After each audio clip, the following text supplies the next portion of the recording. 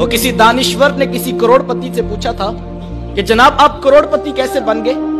तो उसने बेसाख्ता कहा, मैंने अपने नीचे वालों को लाखपति बना दिया, कुदरत ने मुझे करोड़पति बना दिया।